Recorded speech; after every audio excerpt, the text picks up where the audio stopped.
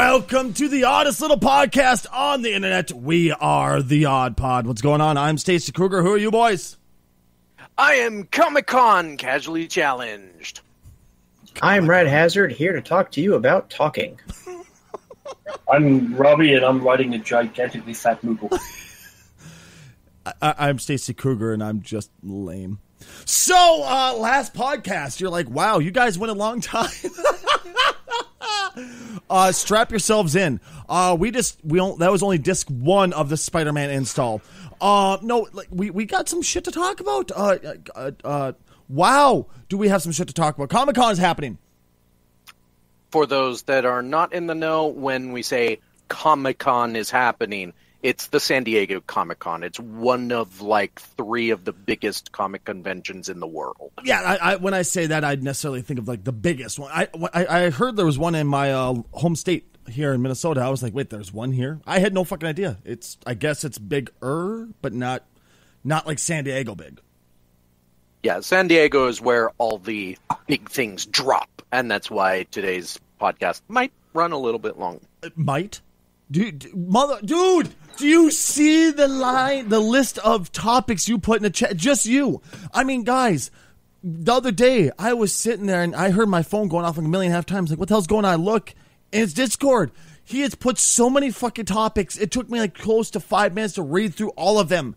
It's insane how many topics we have. I can't guarantee we'll get through all of them, but it'll be a well padded podcast. Let's just put it that way. I'm glad you read them because I didn't. I decided not to touch that. He's just like, so no. many. Robbie is the truest form on the podcast of too long didn't read. Robbie will Robbie will be winging it today. Just saying it nicely. Uh, so we like I do every podcast. well, it's, it's been about two weeks since we've done a podcast. Correct? Did we not do one last week? We didn't do one last week. I did we? Was that not the Spider-Man one? I thought I That thought was- I I thought that was the week? week before. Ladies and gentlemen, know. a peek into our into our preparation process. I have a, none. I have a hard time keeping track of time. I'll, I'll admit this. Stacy, Stacy, what's the date for you? Uh, it's the twenty third. Okay, so no, it wasn't last. Okay. No, I mean, y- yes, it was last week. God damn. ah, God damn it. All right.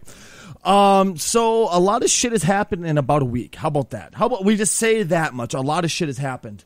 Um, first off, uh, Comic Con casual. A lot, a lot of stuff has popped up. Uh, one that I really am excited for is Spawn because me and Spawn are kind of like this. We love each other. I love Spawn. Spawn is so cool. Just the concept of Spawn. And there's rumors that he might be being redone, if I'm not mistaken, like movie wise. And Apparently, from as from soon- Robbie. As soon as I talk about fucking Spawn achievement, Uh, so so here's here's the deal uh, for those that don't know what spawn is because there might be a a demographic that has no idea what spawn is well, it was Uh, quite a while since the movie was released. Plus the cartoon that was Well, out for a yeah. while. Yeah. the comic is pretty old i don't even know if it's still going at this point because i don't read comics um, but spawn was a uh, 90s character like uh, the only thing missing from spawn to make him truly 90s was a big giant gun and pouches all over his body He, he was a bit of that '90s uh, edginess, to say the least. Yeah. Um, so what he was was an assassin. Uh, gets killed and goes to hell because he's an assassin. Mhm. And it, when he gets to hell, he makes a deal with the devil to go back because he's got a family.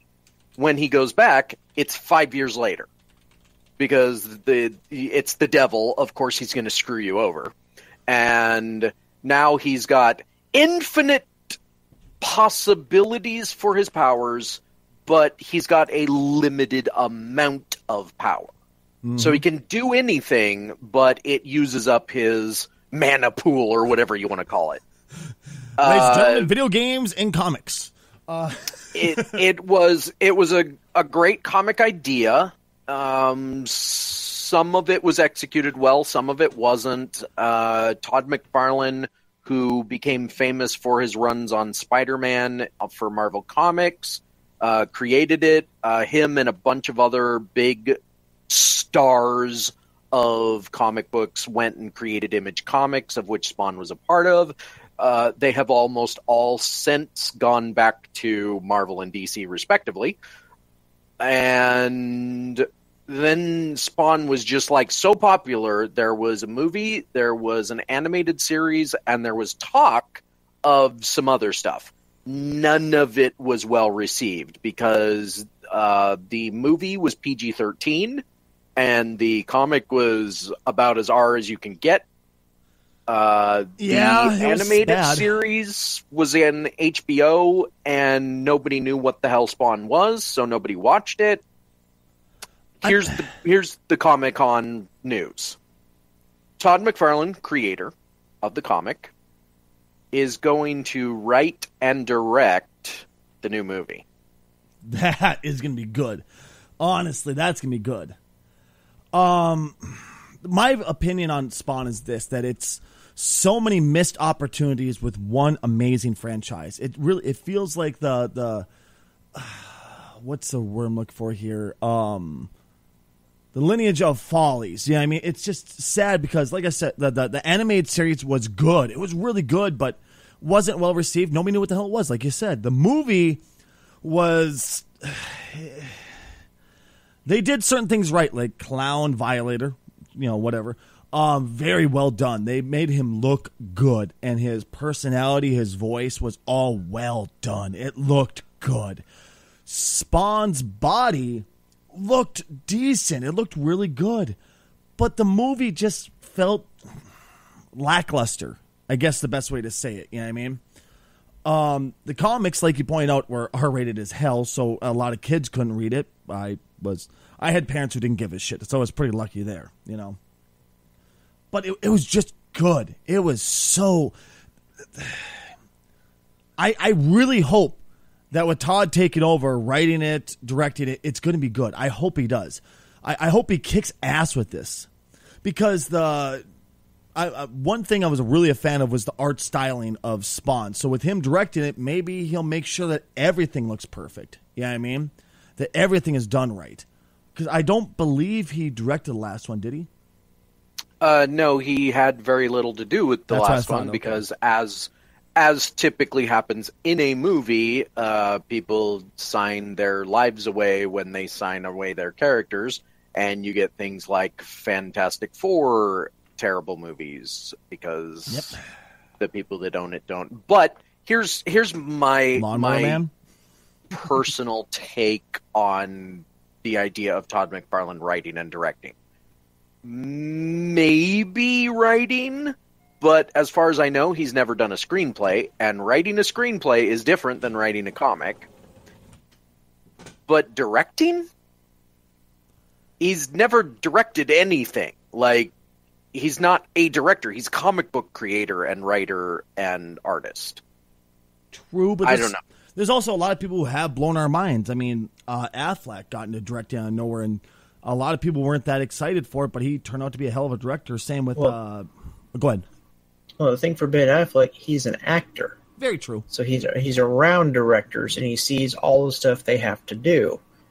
And if you're, you know, like for example, Clint, I would bring up Clint Eastwood as as a good actor director because when when- when he was acting, he was always around the director, even on breaks, because he was interested in honing his craft. So he said, "I need to learn a little more about the other people on this on this whole thing."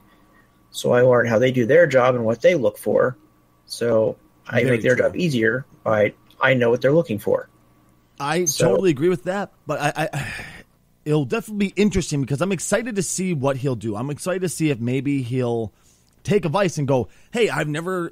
As far as we know, he hasn't directed, and as far as we know, he hasn't done any screenplays or you know something like that. So I, I'm excited to see if maybe he'll go, "Hey, help me make sure this is perfect." But with him directing, we know that what is written will be perfect because he's going to write it and direct it. So we know that the script is going to be dead on with how Spawn's supposed to be. But it's it's also his baby. Yeah. Say, I I know the best for my for for my thing. Here, That's- here's the It's a real danger. here's the problem. Uh, like like I already said, he's never written a screenplay, and they are very different. So he might write something that would be good in a comic book form, but then turns out not to be as good, you know, in the actual movie form. But the other the other big problem is here here's the thing. Spawn was a child of the 90s. Mhm. Is it going to translate to now? Now, I can tell you why I think this is becoming a movie again. It's because it's rated R, and right now, rated R superheroes are a big commodity. Deadpool, So- perfect example. Maybe Logan is another good example. Yep, absolutely. Maybe this turns out to be great because hey, we can finally get the R-rated Spawn. But again, I'm just worried that maybe it turns out to be, you know, another movie that we didn't need. I don't know. True. In before Spawn, Spawn's a renaissance for 90 char- 90s comic book characters. Well, and you know, maybe that'll be a good thing too. You know, Oh, me don't being the freak for '90s comics, the the comic book characters like me. You guys know me and my love affair for Carnage. Um, like I, that's why I'm excited for this because I love those things so much, and I'm I'm I'm excited to show a lot of this stuff to my kids. You know, my my daughter's old enough. My boy, I'm not so sure about. You know, he he's still a little young, but I'm excited to show him a lot of the stuff that I grew up and going. This is what Dad used to love. What do you guys think? I, I think that there's definitely a market for it to come back. It's just like you point out, will it be done right? And is it the right format for it? I guess. I don't know. Uh, because here's the one problem I've always had with comic book movies it's so hard to get what is on that page on the silver screen because there's sure you can go do all the CGI in the fucking world. One CGI makes things feel incredibly fake. That's my personal opinion. It feels insanely fake when you do a shit ton of CGI. A little bit is very good. Uh, Deadpool, great example. Uh, it was only a, it wasn't a shit ton of green screen everywhere, a shit ton of CGI everywhere. It was well placed. Uh, Colossus, he actually felt kind of real. You knew he was fake, but he felt real. You know, um, it, it depends. With this, eh, are they going to go with everything that Spawn did in the comics, which means it's going to be a shit ton of CGI, or are they going to do only half, so it's not going to be as much? This is kind of what I'm after. Are, uh, what is this movie going to turn out to be? You know? Well, I I mean, there's always like a way they can do the stuff in the comics without like going full CGI. I And there's practical effects. Yep. The shit they can, they can do these days is amazing. They don't need to go full CGI for it. That's kind of what I was trying to get to. You know, I, I think I kind of overshot what I was trying to say there. That's kind of what I was trying to point out that it's possible. It's just, I guess a good example was Ghostbusters, uh, where they went way overboard with CGI. You know what I mean? And it felt Was cartoon. there that much CGI in Ghostbusters? Oh God, where you're he's talking about the new one, I yeah, believe. the female Ghostbusters. Yeah, I don't, I don't, um, I don't know what you're talking about. the the uh, that wasn't the only problem with that movie. Yeah, Um, it's one of the problems. But I'm kind of just pointing out the CGI aspect and It, it My main definitely problem was that- very CGI. My main problem with that movie is the fact that people keep insisting it exists. that's what. Pe- people keep insisting that it, it, it exists. God damn it. Well, I it was existed enough to spawn another one. There's talk of another one. Well, die out. no, see, uh, here's the thing: the Comic Con has a lot of news. Uh, I believe that Ghostbusters is owned by Warner Brothers, and they don't want to just be known for DC, even though they, let's face it, they kind of are. Um, so here's what happened: Well, DC and Looney Tunes. people got people got up on stage to talk about all the different things that are coming out for Warner Brothers related stuff. And one of the things they talked about was Ghostbusters. Now, they didn't say Ghostbusters sequel, they said Ghostbusters stuff. So there's potentially a plan for a new animated thing. They didn't say whether it was a series or a movie or what, and a live action thing. Again, Okay. they didn't say if it was a sequel. They didn't say if it was a prequel. They didn't say what uh, you know if it was a another reboot or whatever. But do we care? Do we like? Uh, didn't didn't we just get proof that we don't want more Ghostbusters? I okay. I mean, they, they did have like a whole like plan set out before uh, the movie even came out, and they were going to do a shit ton of stuff, but the, the movie bombed, so I don't know how much of that is still going forward. Well, it depends on whose point of view you ask. If you look at the actual numbers, yes, it did. But if you ask from point of views, then no, of course it didn't. Uh, I would say this: that if they go for a sequel, it's dead in the water. There's, I, I don't see that being successful at all. But I would love, love, love to see them go with the original Ghostbusters three script that was floating around the net for a while, where Egon's daughter would take over. The, Mac, then- the Matt, Matt Landis one. I think so. Yeah, where they uh, pass it off. I think that'd be fantastic. I would love that because then it could you roll in why Egon's gone. His daughter decided to take over. Um, you know, uh, they could move in why Egon's not going to be in the fucking movie. It could show the guys passing the torch. I think it'd be fun. It'd also bring a lot of the old school Ghostbusters fans back. But would it like haven't like okay. So my opinion as a person who enjoyed the original Ghostbusters, maybe not so much the sequel, you know, people remember it fondly. Ghostbusters to me did something that had never been done before and in that way, I think that it is a great moment in history for cinema and just, you know, originality. Mhm. But look back at it really. It's not as good as people remember. There's there's plenty of slow moments. It it is funny, don't get me wrong, but it's not like high comedy and and all the things that people seem to attribute to it. Well- now To me, it wasn't just about the comedy; it was the whole story itself was fantastic. I liked yeah, the I mean, parts personally. didn't wasn't one of the major gripes about Ghostbusters 2 the fact that they focused more on comedy? Yeah, personally, Uh, I I thought it was too trying to be too corny, trying to be too funny. I, I would agree with that. But that's my point. Like, I I feel like there are certain untouchable properties, and the reason they're untouchable is you just can't do it again. And they they tried to do it again with the original Ghostbusters 2. It didn't really work.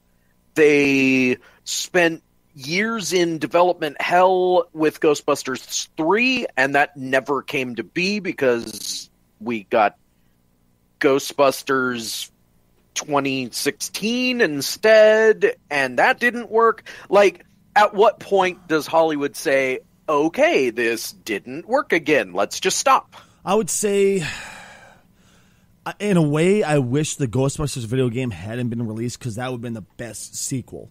The, the best Ghostbusters three would have been that um would have been the video game. But I'm glad it was a video game because I got the chance to play as a Ghostbuster and fuck, that was fun. You know, that was a great game. I don't know if any of the three of you guys have played it or if anybody listening has played it. If you have not, please go check it out. Go uh, buy it. That's uh, Telltale. Nope, not What Telltale. It was uh No? Who the heck made it? Uh basically you took the role as one of the Ghostbusters. You will and actually Yeah, you're you're the you're the fifth Ghostbuster. Yep, you're the new recruit. Yeah, It's so much fun. All four of the boys are there. It was the original original the whole way through. It was awesome. It was a lot of fun and I thought that for many of us who wanted that third Ghostbusters, that was really our third Ghostbuster. You know, it was a lot of fun. It had the same type of uh, funny that we expected, same type of action that you expected. It was really what everything you wanted in the third one. So here's the options I could see them having. A, they somehow do a stupid enough move of rolling the third that the game into a third one and make that part three, which would be fucking dumb and not possible. But you know, I wouldn't put it past Hollywood because I've seen some dumb shit done by them. You know what I mean? Uh, two, they make a Ghostbusters 2016 two, which would be a failure. Mm, well, okay. It is it, Marvel and DC are both proving that you can self-correct in a franchise. Like DC had one okay movie, one very very divisive movie and one movie that pretty much universally people despise. Then they put out Wonder Woman. They they did self-correct and Mhm. we think Justice League might we'll, we'll get to that probably. But Oh, guaranteed. but okay, let me let me actually play devil's advocate here. Okay. So, and we'll cover another topic at the same time. Stranger Things 2 is coming out. Mhm. Uh, it's a Netflix show. It's very 80s nostalgia. It feels like a Spielberg neighborhood with a Lovecraftian monster. That Vincent It's- Price crossover. It's a great show on its own, but it also has a lot of nostalgia porn. Okay. Now, some people thought that it was just nostalgia porn, and they kind of bypassed it and said no. Here's the thing. I, I'm going to say that, Ghost, Ghostbusters might work, if only for one reason. Stranger Things 2 is about to come out, and they're going to have a big Ghostbusters element to it. Like, the kids are going to have seen Ghostbusters because it's going to have come out during the period where it's set, and there's even like pictures of them with their own proton packs and traps, and we think that it's actually them somehow extrapolating devices to fight the monsters that actually exist in their in their TV show universe. Oh, So, from the nostalgia standpoint, there is a market for Ghostbusters. But, like you were saying, what do they actually like? What do they do with it? Like, I feel like there's very few options, and none of them sound good. I can't help but agree with you. um, I like uh, talking from my point of view. I would love to see a Ghostbusters three, kind of the script I was talking about, the Ghostbusters go to hell or whatever, or fight hell, or that one that was floating around where Egon Zara takes over. I think that nostalgia factor would be it would be kick ass. And same reason why Stranger Things was successful in nostalgia, but that's a very good question you pose. Oh, boys, do you obviously Stranger Things got a second season. It's happening. We know this for a fact. Do you think the nostalgia porn is strong enough to carry a third go uh, another ghost technically fourth Ghostbusters? And do you think it'll be strong enough to carry Stranger Things too? I uh, I think it. w- Sorry to jump in. Um, I think it would because we're seeing a slight resurgence of of um, retro '80s things. Do you think it's just the fad, the coolness, the hipsterness of it all? That's it? Uh, yes, because you know you just played uh, Far Cry Blood Dragon. Oh god, that was awesome. That was fucking awesome, man. That game is only possible in the modern times Yep. because it's like it's the uh, it's the popular perception of what of what the '80s were like through the lens of Hollywood. That's about it, really. I mean, it had every 80s stereotype that you could possibly cram into one story. It was fucking awesome. The sex scene was just as corny and lame and just stereotypical as you would expect it to be. Especially when he rolls over Dunn, she goes, Wow, you're a man and all, because the guy is a cyborg. You're a man in all the parts that matters. He said, Yeah, I may be 95% machine but I'm a man in one particular part. It's just where you expect all the ni- the 80s stereotypes and all the satire where it should be is there.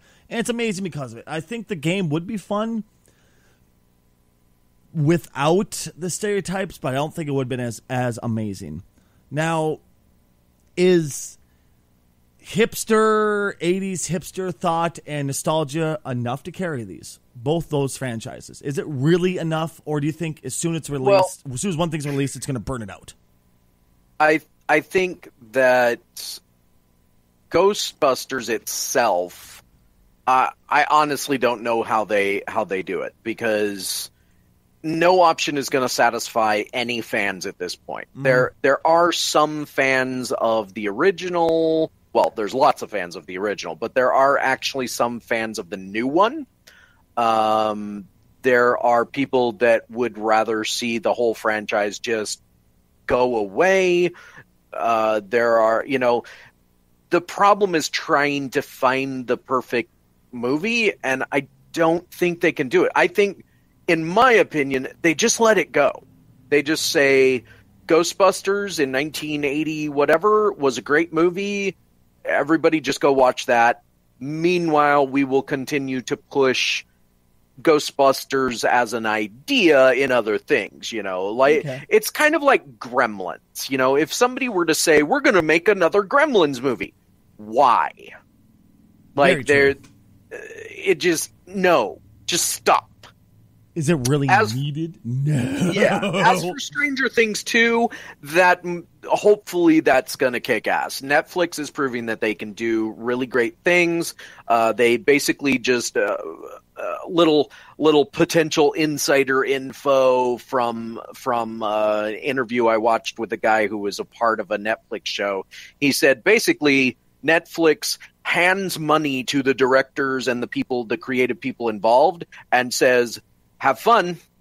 So giving them that much creative control is why we've been getting these great shows. Iron Fist, Yeah. maybe not so much. um, I thought that was your favorite show. but as for whether or not uh, the nostalgia porn keeps working for Stranger Things, as we've as has already been mentioned, the 80s seems to be having this huge resurgence right now. So I think yes, it does, but I also think that we're not going to see, despite the fact that they've shown the Ghostbusters related stuff in the trailers for Stranger Things 2, I don't think we're actually going to see that much nostalgia porn this time. I think that they established in the season one that it is the 80s, mm-hmm. and they showed a bunch of that there. Now we're going to move forward with real story. We're we're going to get involved with the characters even more. We're going to get involved in their universe. We're going to see very Lovecraftian things happening. They, I mean, there there's a screenshot that we think is what is known as the upside down in this universe. It's the dark world where all the monsters seem to exist. Okay. And the picture looks like, I don't know, a gas station or something that's all covered in red goo, and there's like a red background that we think is the sky with a typical Lovecraftian giant squid alien monster like coming out of space. So Interesting. so from from the perspective of nostalgia, I don't think it will rely on nostalgia this time. I think it will be its own story. All right, and I want to talk about something else that's a little nostalgia esque and it's already pissing people off. And everybody, you're going, but what, what, what about the DC stuff? What about the Marvel? Oh, just wait, we're gonna get to that. We're we're just buttering you up because that's gonna be our bread and butter. Uh, um, Aladdin. Have any of you guys heard about the castings for Aladdin? And uh, you're laughing. I'm sure you're gonna know what I'm gonna be bitching about. I haven't heard about this. I've, I've heard that they're making one, but I haven't heard anything Okay. about casting. Robbie, what made Aladdin? What made that movie to you? The music. Really? Yeah, I love those songs. Yeah, I would say I would say the music and uh, the genie. To me, it was all Robin Williams. It, Robin Williams made that movie and made it fun to watch. Now they're in the middle of remaking it. They're going to do a live action Aladdin, and they picked someone for uh, uh the Aladdin. It's not The Rock, is it? No, thank God! Oh God! Like he's in everything. No, no, not not, not the Rock. He he's already ruined another movie from another Robin Williams movie. Yeah, No. I just have this weird fantasy where The Rock just remakes every one Robin Williams movie ever made. right? Uh, no, it's Will Smith playing the genie. Now I can say this much: at least they got someone who's extremely good at um, playing a character and having a huge array of emotions. When I think of someone who's amazing actor. It Will fucking Smith. This guy is amazing, but He Genie? can be. Well, as long as you don't got him in Earth One be. or Earth Earth One or whatever before Earth or Beyond Earth, Earth Beyond Uh, After Earth. after, Earth. after Thank you. Yes, what it was. Welcome to Earth. I love that that movie was set up so terribly. I'll get back to Aladdin. Hold on, I just have to say this. He wrote that movie for his son, where he switched him and his son around. His the role he gave himself was really written for his son, just a guy that had no emotion, no dynamics, just a fucking sit there guy. And he wrote a role that should have been written for him for his son, who doesn't have the same ability as him. It was fucking hilarious. But at least you got somebody who's dynamic, who can have that energy that is needed for the genie by far. But genie, Will Smith, it's just I guess I have a hard time looking at anybody who would play the genie that's not Robin Williams because he defined that role so well. Yeah, Sounds, I mean, sounds like sounds like you're talking about Batman or the Joker now. yeah, I mean, Yeah. I, I, I could see him as the genie because I've I'm picturing Will Smith, uh, in like like a kind of attitude that he does in some movies where he gets kind of uh, playful, uh, and I'm trying to I'm trying to Men in Black. associate. Yeah, something like that. I'm trying to associate that with the genie. I kind of see it, but it's not going to be the same. Well, it's uh, I think part of the issue is that Will Smith over like the past decade or so has has kind of reinvented himself as an actor. He hasn't done a lot of the uh, a lot of the uh, the more comedic side lately. He's, He he's been also doing, doing a lot more dramatic roles. He also hasn't done the rap it in every Uh-huh. movie anymore which you know i i almost want him to do like the aladdin rap like can whatever you imagine, like you know the song that the genie plays? The, you know the song that the genie does. You never had a friend like me. Could you imagine a rap version of that? I don't know. I don't know if I would want that. That would be it'd be fun to hear. It'd be interesting to see how they do it for sure. It sounds so terrible. I really want to hear it now. Right? oh, I got to say this though. Look back Fresh at the Prince- Fresh Prince of Bel Air. Ma- remember how l- l- I was energetic going he was? the, uh, Go ahead. I was going to say the uh, the Fresh Prince of Agrabah. Oh, that just ruined everything. But I mean, uh, just think back to how energetic he was and how crazy and how you know colorful his characters his character was that he played. I think he could pull off the genie, but it's it.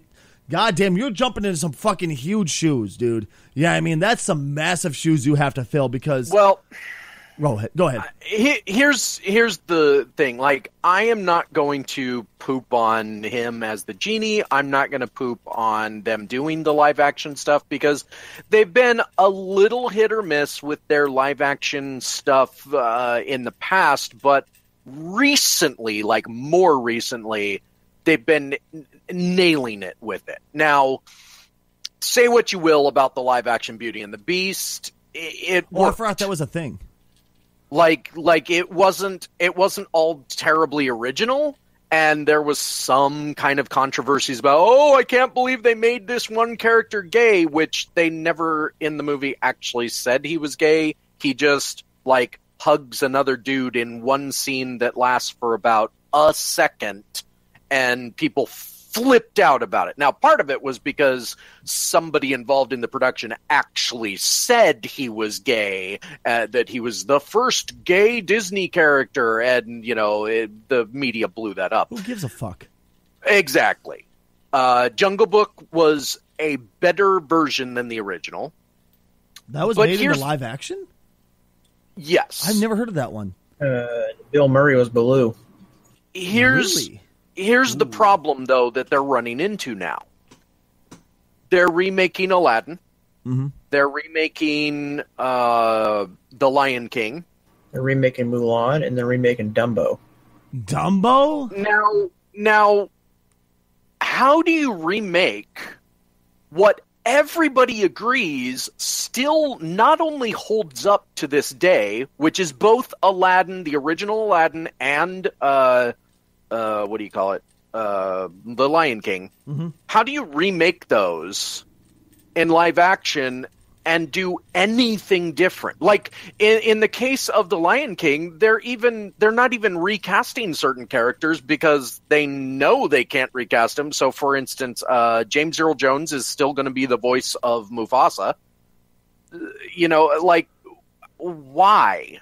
Why do some of these? I don't understand that part. I, I, because it because it's Disney and they have their their own mint. Pretty goddamn much. We need to print more money. Put out one of our other movies. I, I don't see. a Sir, yes, for sir. it. When I s- when I heard about Lion King, I, I legit spit coffee. I was like, they're going to do that? Why? I, it, it was just so well done the first time, and I'm not a Lion King fan by any means. I mean, go ahead and remake the fucking game. That was an abortion on fucking wheat toast, please. You know, but uh, what? Why? It was so good. It was so well done. I mean, are it was you also it was also 23 years ago. true? But I mean, my kids watching, they still love it. I, I don't see it being outdated. Oh, excuse me. I'm so sorry. I apologize, but I don't see it being outdated. You know I mean? Make way for Prince Ali. Sorry, That's Fresh I had to Prince do to, you. More like make way for Disney doing shit they probably shouldn't. Uh, I, I will give this much credit to Disney. They can't seem to do any wrong right now. Uh, True. the Marvel movies are killing it. The Star Wars movies are killing it. You know, despite all of the supposed problems they're having. Like people were saying that Rogue One was going to have all of these issues. Oh, there's been reshoots and oh, the director this and oh, the actors that. And then Rogue One came out and everybody said, "Wow, that was a good movie." Uh, uh, here's the caveat: movies do reshoots all the time. Right. And and so at the end of the day, I don't think I'm going to watch the Lion King remake only because I saw the Lion King. I'm fine with that. You know, I, I don't need to see the live action remake. I I did not see the Jungle Book or the uh, Beauty and the Beast remake. I hear they're great. Um, will I see the Aladdin one? Honestly, probably not either. Like like I'm not interested enough to see it, but maybe the new generation, the current generation, this will be their version. I think it'd only be fun to check out for me personally, just to see how they do Genie, and that's it. Just to see how Will Smith pulls it off. That's the only reason I would actually go to see it ever. I have no interest in seeing it otherwise. It just it holds too true. It's too good. The original. I mean the the sequels. Let's not get into those. But the very first one was pretty goddamn good. As Um, a, I what? just had probably the most random idea about Aladdin. Lay it on me, boss. If George Carlin was still alive, have him be genie. Oh, oh. R R rated Disney movie for sure, but it'd be worth it. I was, I was gonna say that would be a. He wouldn't just be blue in color. God damn it! I think. Oh, I'd like that. I, I, I I would pay. I would pay to see that. right, dude. I would just because it's George Carlin. Um, to another thing because we, we've been kind of saying I've heard an overall kind of theme of was it necessary? Do we want this? Do we need this? Another thing that I didn't realize was still around and didn't think it was needed was Pokemon Go. It had its first live event. There was a Pokemon Go Fest. I, I'm sorry, po- Pokemon. What? Pokemon Go. Remember that one where you had to walk around with the camera and point at your friends and catch a Pokemon in the face? Uh, I thought, I thought that was I Pokemon Stalker. vaguely, I vaguely remember people talking about something on their phones uh, many moons ago. They had a full blown fest for it. So I finally broke down. I was like, if I'm going to bitch about this game and critique it, I need to download it. So I downloaded it and I played it for a day. I went, well, can I battle these things? Like, I, I went from playing Pokemon uh, Gold uh, to like, I'm to go play po- Pokemon Gold. So I did it. And I'm like, well, I can't battle my friends. I can't battle. What's the fucking point? Yeah, I mean, like I, am still at like level four. I deleted it, and I'm just like, fuck this game. It's not even fun. Yeah, I mean, and I made the mistake of not saying I didn't want to register my my uh, email. I thought it said didn't want to register it and just wanted to play. No, apparently, are you of 18? Are you uh, above the age that you need to be? Is what it actually said. I misread it. So technically, I'm um, technically I'm a minor on that game, I guess. Uh, but it's just why? What is this really relevant still? I I, I haven't heard. Like I, I know once in a while I'll pull up an article on here. We'll make fun of Pokemon Go because they put a new update, but that's all the buzz I ever hear about it. I haven't heard anybody talk about this at all. I haven't heard anybody talk about Pokemon Go in months beyond me bringing up the story and making fun of it once in a while. As last I heard, I think they have somewhere around 60 million active players. Still, really? Wow. But okay, but do they? Uh, so here, here's my thing: like uh, World of Warcraft, still going theoretically strong. They say they have five million active accounts, which might be true. But are these people actually playing it, or are there a lot of gold farmers and people that just never turned off their accounts? I would Well, I- say the latter. Another another caveat for Pokemon Go: it's not just a United States based game. That it's is literally true. worldwide. Very true. I know uh, the the humdrum in the U.S. was pretty much over and done with when it was finally released in France. And my friend Alice from over there was like, "I went out and hunt Pokemon the whole time." Like, oh, I forgot about that game. you know. Um, apparently, the whole humdrum about this was they went and saw the first Pokemon Fest, and it was apparently it was kind of, you know, uh, how do I just say it? Not exactly well received, to say Uh, at least. it was a rocky. disaster. It was, and they did a release of a legendary Pokemon. So everybody's like, "Hey, let's catch it." Okay, what the fuck do I do with it now? You know, as er, as I always joke about with that game, but it was a complete disaster. It wasn't well received. Do we see the game going after this still? Uh, no, because who cares? In So uh, in this country, and I'm sorry, in the United States, sure. I'm just a little Uh, confused. I mean, like, didn't so? So it's basically it's an event where they release all the legendaries or something. Or just one? Yeah, Just it, one. it was it was an event for if we get enough people here, you know, to do X Y Z, then they get first chance at catching at catching these legendary Pokemon, which is um, Lugia and Articuno.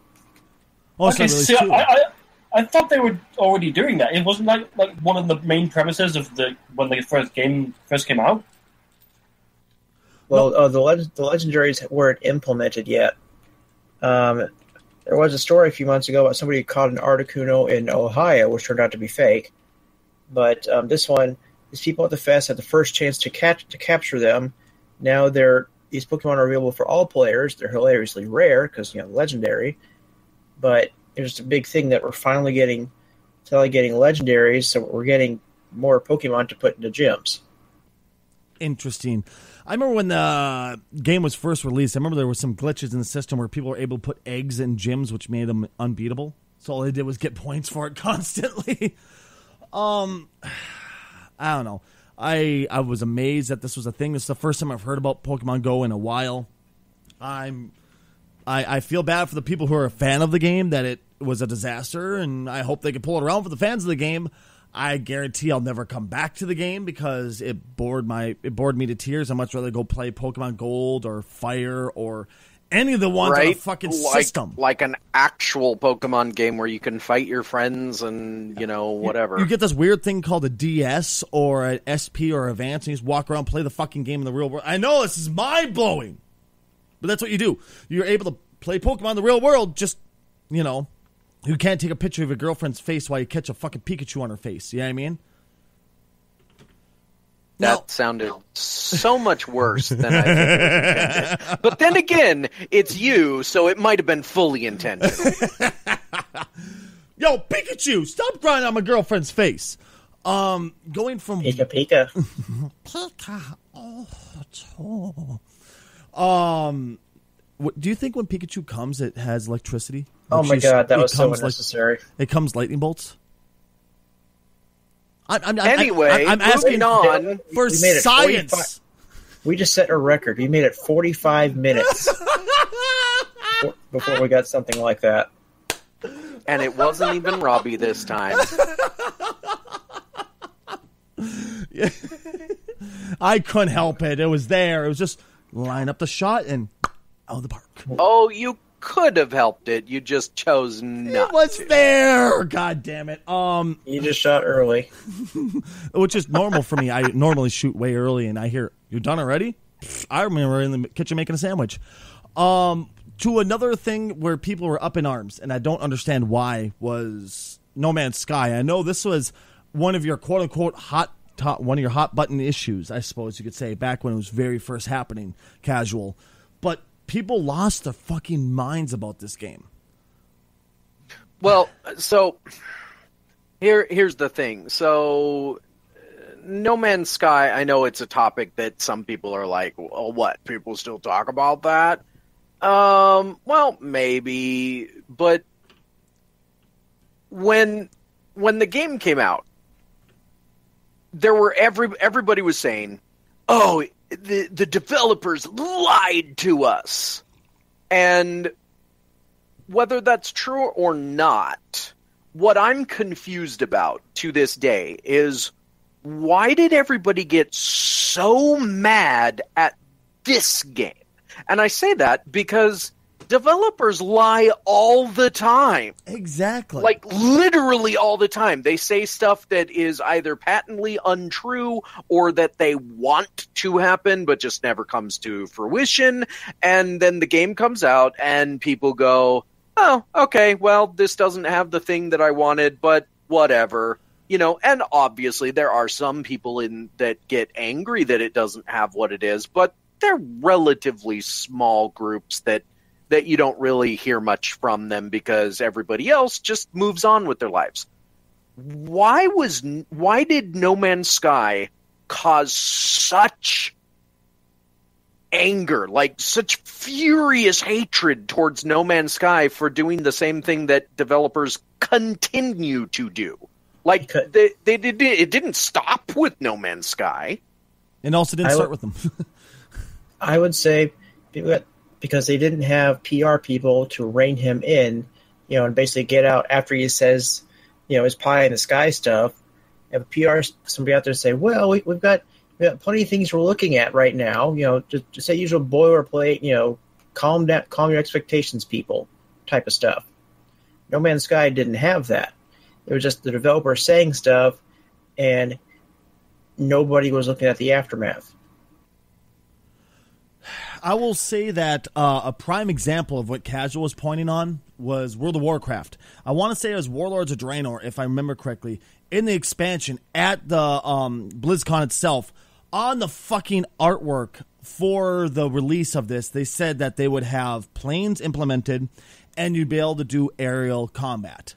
It just didn't happen. They dropped it because it was too complex with the old engine. They just dropped it but it was on the actual release. They were hyping this as fucking huge update to the game where they're going to have airplanes. You're going to actually be able to do aerial combat. They fixed all these issues, but it never happened. You know how many people I've heard lose my mind over that? Legit, I haven't heard a single None. person get pissed. But now, Right. With No Man's Sky, and this is still relevant because if, as a Twitch streamer, I can confirm that if you even mumble anything about No Man's Sky, you see your chat room blow up of people bitching about this game. Right. That that's what that's my point. Like why why the pure vitriol towards this one game that like like here's here's my take on it. I think that people attributed things to this game that were not there. Like they had in their mind all of these things they wanted it to be. And I say that because yes, some of the things that the that the No Man's Sky uh, dev said were maybe not entirely accurate, but at the end of the day, I watched all the same uh, content that everybody else watched. Like I saw the v- interviews, I I listened to the you know what they I watched all the videos about the tech and stuff like that. And what I got out of it was this game is going to be a about exploration, which is true. It's not very good exploration, but it is about exploration. B, the main dev wanted a zen experience. He wanted a game that was relaxing. He said that so many times that it just in my head I said, "Okay, this might not be like the game, you know, that that I'm thinking it is. It's not going to be Star Wars, you Mhm. know, made real. It's going to be something different." Then he also said there would be potentially multiplayer. That was, let's face it, a straight up lie. They couldn't figure out how to do it, and they never said, we're not having it. Now, I will say, he they didn't say some of the things they aren't going to have. Like, they didn't come out and say, okay, we said we were going to do this, but we can't like some developers do that. They say, uh, by the way, I know we said we're going to have this, but we're not. But still, I just don't get why people jumped all over and said, oh, you lied to us. You're a horrible person. You should die in a fire. And he actually got death threats. So you can imagine why he kind of disappeared from, you know, the Twitter and Yeah. media. It's it's sad that he did because guess what? It's just a game, guys. In the very end of it all, it's just a game. He does not deserve threat death threats over a fucking game. And Which, mind and you, I enjoyed quite a bit. If they would have had a non-broken FOV slider, I would have had a blast with that game. for the record, they have updated it. Mm, oh yeah, Like multiple times, they added uh, building of structures on planets. They added uh, vehicles that you can drive around on the planets, and there's some kind of update that is coming out. I think next month. So it, it's not like they just put like one of the one of the things I heard so often was, "Oh, this was just a money grab. He's just taking our money and stealing it." No, they wanted the game to be everything they promised. They just couldn't deliver. It's, it's not a money grab. You paid for it. exactly. I mean, if you bought it and you got a broken game that didn't work and it wouldn't was work, no period. refunds. Exactly, no refund. Then yeah, it goddamn right he stole it, but he didn't, dude. It was your choice to buy it. It was your choice not to refund it. You know, uh, like I said, the game had so much potential. It's a lot of fun if you just want to have a nice, relaxing fly around to gather some materials, to uh, fix your ship and go, fuel your ship, and just explore. It's a fucking fun game to explore. It's But- a it's a beautiful screensaver. Yeah, and once you find a world that you think is so beautiful you can't leave, go ahead and build your base now. You know, and it's it's really cool, but that's exactly what it is. That's it. It's just Yeah, that's that's all it is, and that you know, I, I think that might be why most people are angry. I don't know. Maybe maybe people can comment on on YouTube or something, but I, I just don't get it. You're absolutely right. I don't know. I to me, I just thought it was silly. But boys, it's been close to an hour, and we haven't talked about nearly enough Comic Con. I say we get into the meat and potatoes of Comic Con. You know what I'm talking about, right, boys? Well, I would say comics, but ironically, Comic Con is more about movies. Is that stupid? No, there's one I really. Okay, what am I, guys? When it comes to comics, what's my favorite comic? Uh, uh, uh, shoot. I, I know the answer to this one. It's freaking um, Squirrel Girl. Fucking Batman, guys! On, And on the nose, Rad. there's some news about Batman. apparently, Batfleck. There's rumors Batfleck might be uh, said goodbye to. Okay, This is just So- rumors, just rumor mill. let's yeah, let's let's put that out there right now. All of this is rumor right now about Batman because they uh, they don't know what they're doing. But um, what's his face? Ben Affleck is is rumored to be no longer involved in uh, like like we know he's no longer the director Mhm. and the current director doesn't want to use any of the old scripts he wants to use a new script and apparently warner brothers is like okay For the record, the new director is Matt Reeves, the director of uh, the latest plan- the last two Planet of the Apes movies. which for for the third record is actually good movies. Like if you haven't seen them, they're they're not big blockbustery movies. They're actually more intimate and personal stories and surprisingly good. Like I I I saw the first one kind of like eh, but I was I enjoyed it. I saw the second one. I haven't seen the third one yet, but I will eventually. Um but there's talk that now not only will Ben Affleck not be directing or uh, involved in like most of the ways, he might not be involved at all. Uh, the current rumor is that basically they want to go with somebody younger and do a different Batman story. And let's face it, Ben Affleck is he's in his 40s, I think now. Uh, he If, is. if they did a Batman, if they did a Batman trilogy, he would be in his mid fifties. Right, and that's that's the thing. They're talking about a trilogy. So if if they don't go with Ben Affleck, the question now i for for the fans of DC and of Batman is are they just are they doing another reboot or what's going on like because we've already established the Batfleck and most people liked him i liked him Yeah. uh, Well, I mean, in like Batman v Superman, he was. He, we, they The started. The, well, yeah, obviously, but uh, he, he started out as a really old and grizzled Batman. So I guess they do have a plenty of prequel potential. Well, that's- I, mean, I, I guess it's like a Ha- like a young Han Solo kind of. Well, that's the whole thing that I was thing. thinking though, is that they've already had established that he's supposed to be old man bat. He's supposed to be the old crotchety bat. Why? Yeah, who- the, who the whole point people. is that he's old as fuck and that he's aging. Why go? Well, you know what? I don't like he's old anymore, so we're going to fire him and reboot the whole thing. What I- they I could do, and what they probably should do, which would be really fascinating, is you know Batman does this thing, you know, Ben Affleck, all that stuff. He realizes, yeah, I'm getting a little little older for this. I should find somebody else. I'm going to look for somebody named Terry McGinnis Azazel?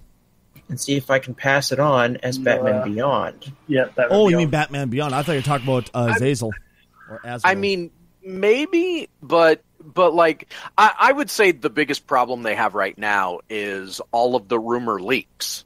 And by the way, uh, for the record, this rumor is coming from uh, Hollywood Reporter, I think, which is one of the more uh, stable. You know, when they Trustworthy. when they leak something, usually their insider source is an actual insider, and Hollywood is pissed at them. Um, Are they still doing Nightwing movie? well, okay, so here's the thing. Let's let's kind of cover this whole DC stuff. So obviously, Comic Con hyped up the Justice League. There's a new trailer out. I recommend people watch it. It's kind of long. It has some of the stuff from the previous trailer, but if you weren't hyped before, you might be now. I'm really gonna like the Flash in that movie. oh, the Flash looks so cool.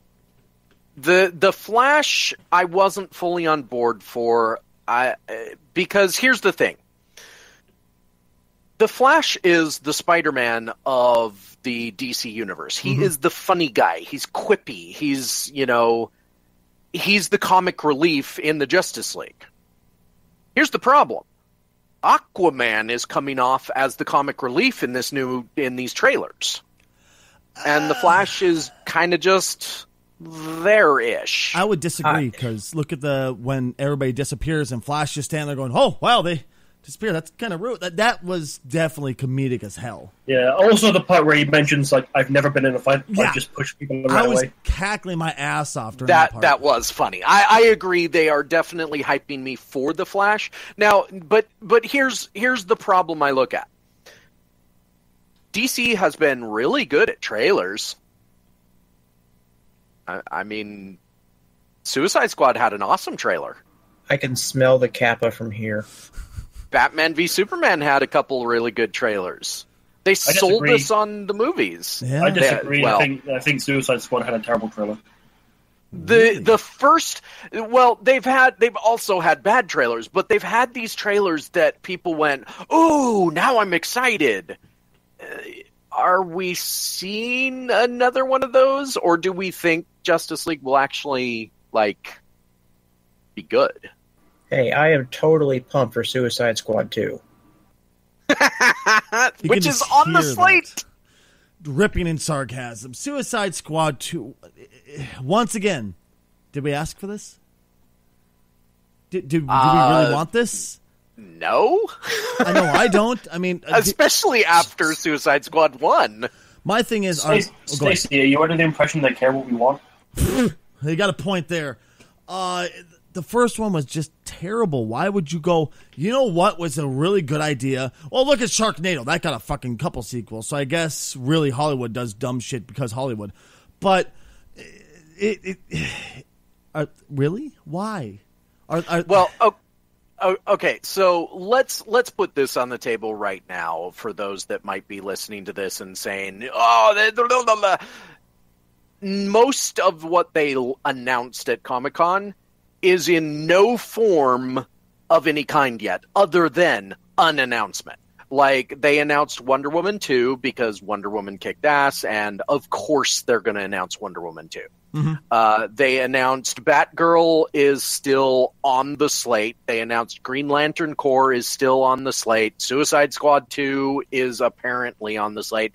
But here's the thing. The only movies we know are actually like in production and being made is Justice League and Aquaman because nothing else has any like there- there's nothing there yet. There's you know barely scripts. There's no casting no, that we know of. You know, so like it, I, I don't know if DC is in trouble. Like, there's a lot of people that say, "Oh, DC's in trouble." I don't think that's true because even their crappy movies make five hundred million dollars. I've been hearing DC's in trouble since the fucking nineties, man. You know, uh, Yeah, uh, but what I will say is some of the choices they seem to be making, like like Suicide Squad two. Uh, why? Why? Uh, you know, am I terrible? I don't want to go back to Justice League for just a second. Am I terrible for being amazed that people are actually into Aquaman? They made a good Aquaman that was relatable and fun to listen to and get into.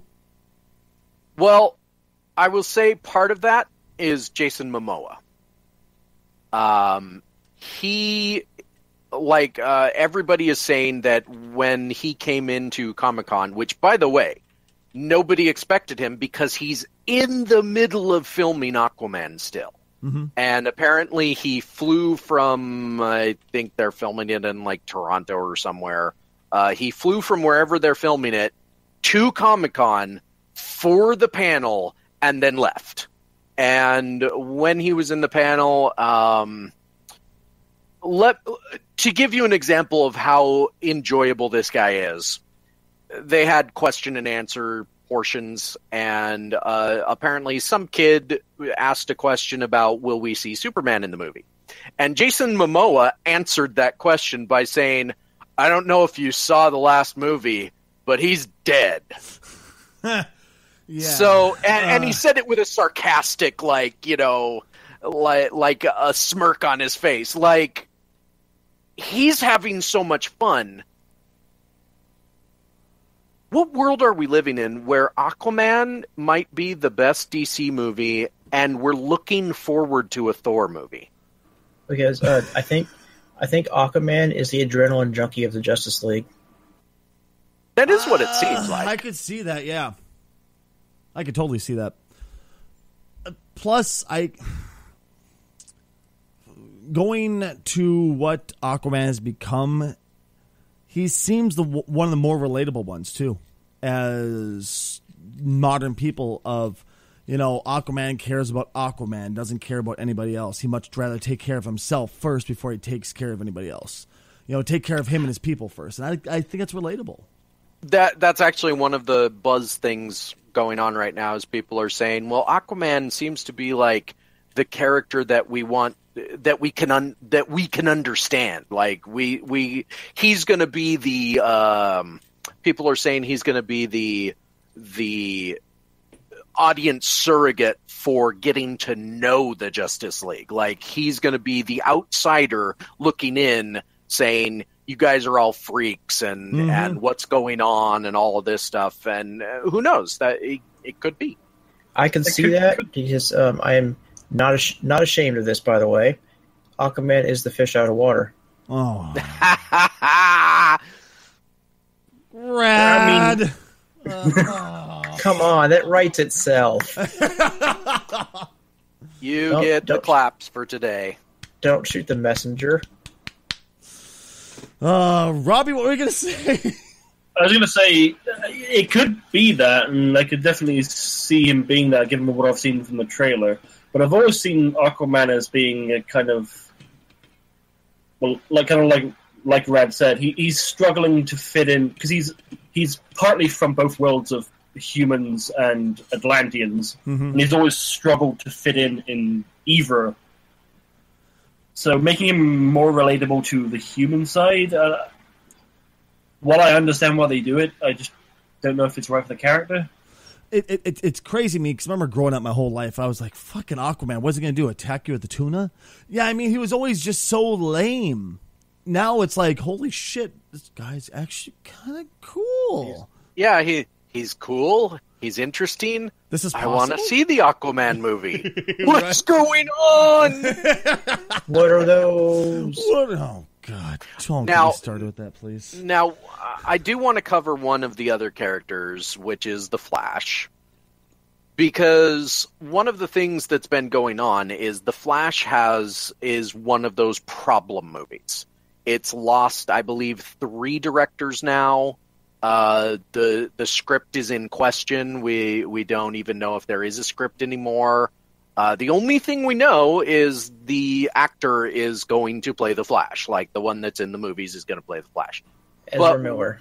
But what they announced kind of makes me wonder what what's going on in DC's like movie universe because they announced the story for the Flash and possibly the title, Flashpoint. Really now? They're gonna be Now, for- in that story? Right now, now one of the things I heard a lot of uh, people criticizing is the choice of DC doing certain things. Like, for instance, in Batman v Superman, they shoved in the Frank Miller one shot, The Dark Knight. They shoved in uh, Doomsday and the death of Superman. And people are like, why did you go to the death of Superman first? And now they're announcing Flashpoint. Like, for those that don't know, Flashpoint was a comic that basically Flash went time traveling like he does, and he fucked everything up so badly that it literally he literally had to help reset the universe, and it set the stage for the DC reboot called the New Fifty Two. Mm-hmm. So that they're doing a movie adaptation of a reboot.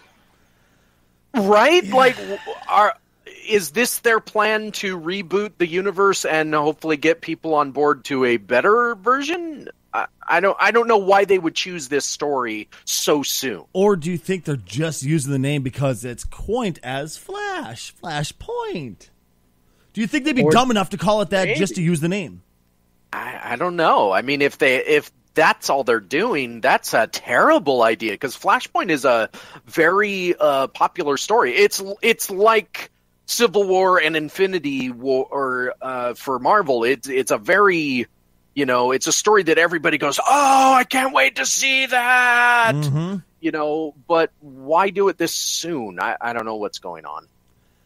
Because it could be a way to pivot the films closer to uh, the Wonder Woman vibe, as opposed to you know Man of Steel, uh, Batman v Superman vibe.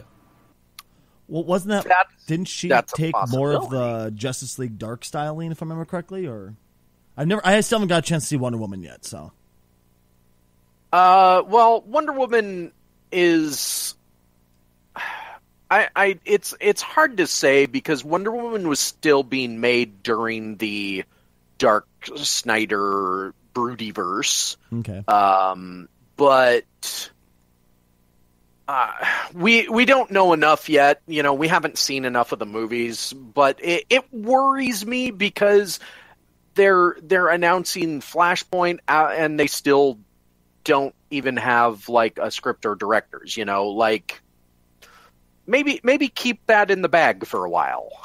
Stop blowing your load on one particular movie. Honestly, you know, basically. Well, it's like- yeah. Like honestly, Death of Superman should should have been their first big event. Absolutely. Yes. That should have been its own movie. Period. No fucking arguments Yes. about it. Absolutely, and th- this is why I wonder where they're going. You know, I wonder if they, you know, uh, this is why I'm still not fully on board for Justice League. Obviously, I'm going to see it. I'm a nerd. I love this stuff, but but uh, I'm not. I'm still, despite I love the new trailer.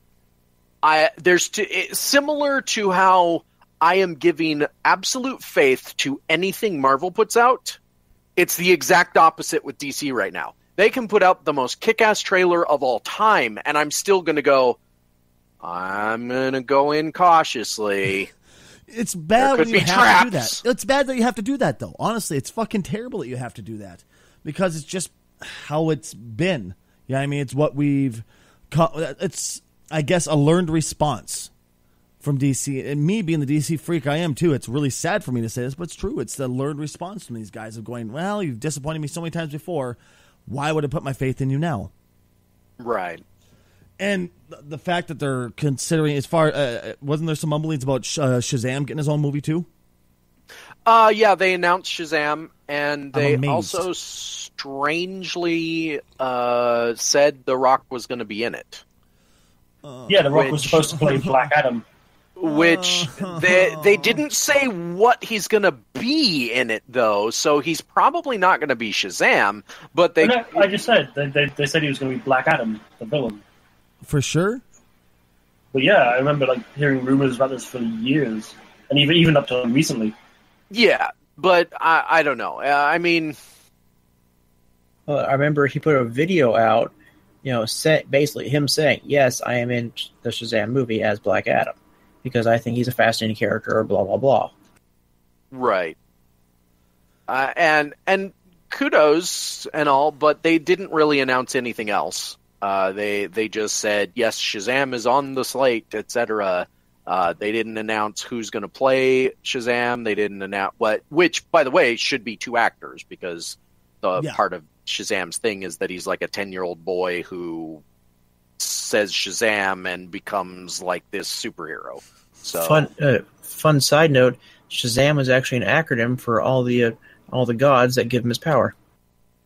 Really? Also, also fun side note: he used to be called Captain Marvel. yeah, I love that. I love Yeah. that. Way back in the day, Marvel Comics sued DC, who had had Captain Marvel for like years at the at this point, and then they won because they were Marvel Comics, and copyright law is really confusing.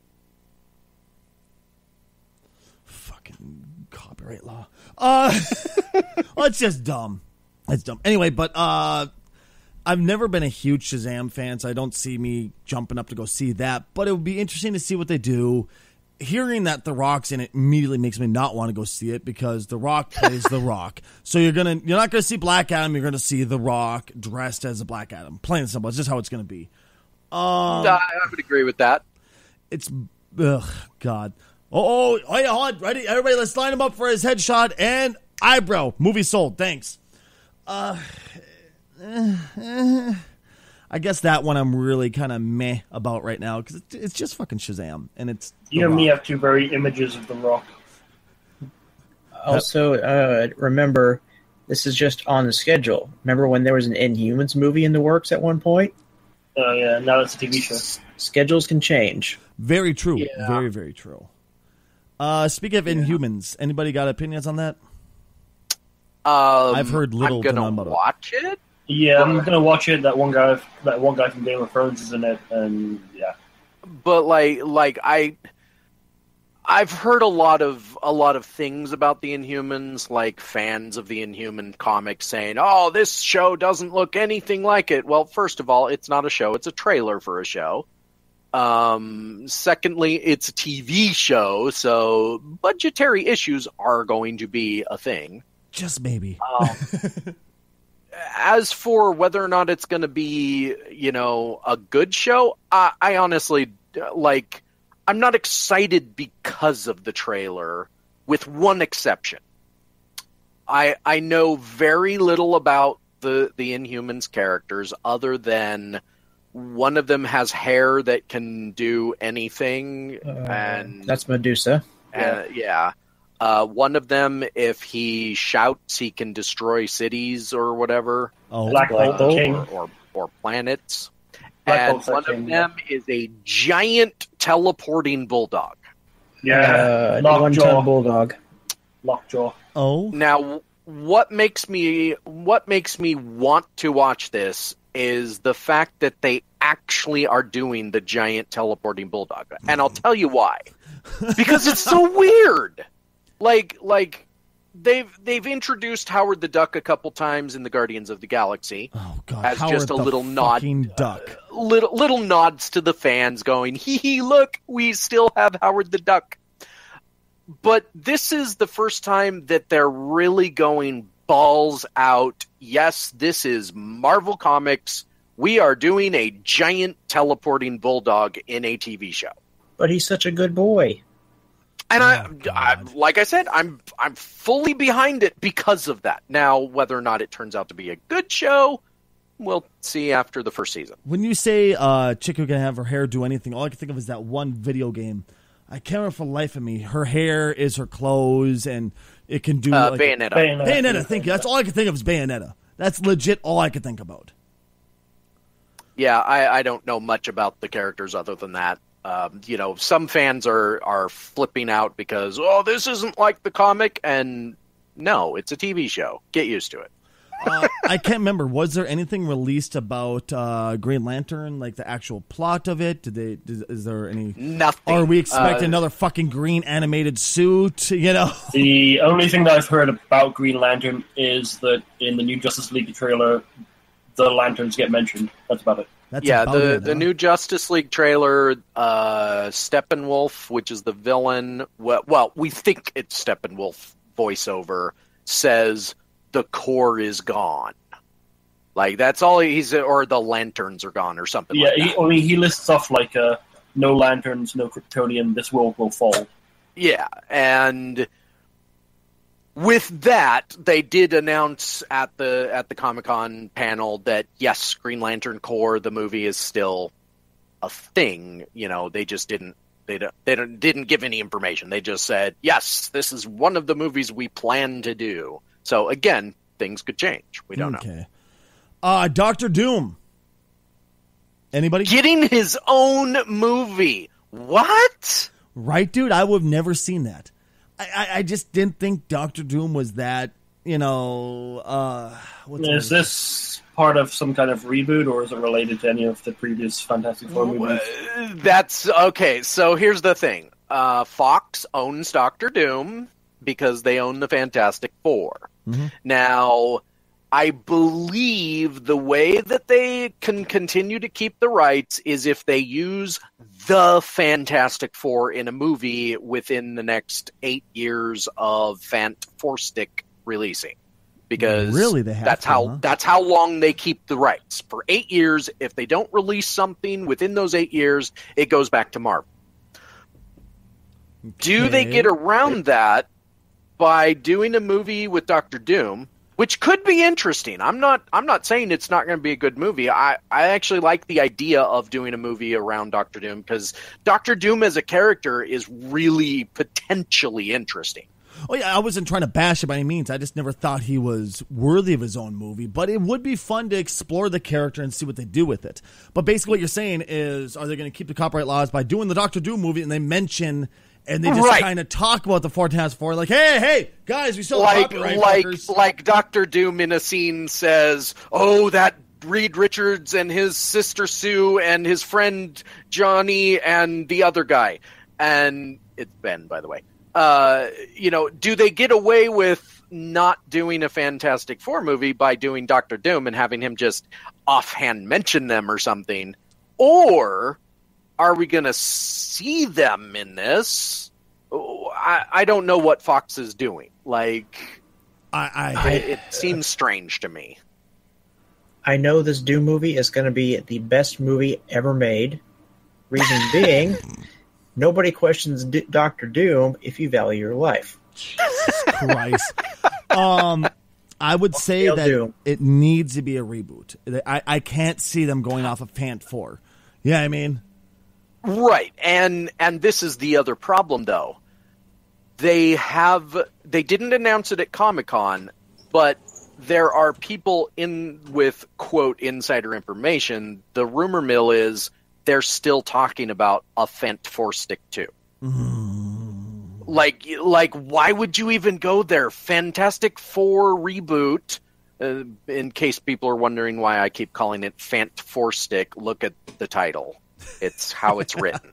yeah. It's F A N T four S T. It's Fant four stick. Anyway, um, it wasn't a very good movie. Like it, it fell apart in the third act, which many movies do, but this one fell apart really bad. Just the third act? Well, most people would agree it it had an interesting start. They don't say exactly it's good, but an interesting start. Now, the problem is they keep trying to do the origin story of the Fantastic Four. And the origin story of the Fantastic Four is they these four characters went out into space, they got hit with cosmic rays and then they uh, and again, cosmic rays, just generic The what- what 1960s called, they want their origin story back.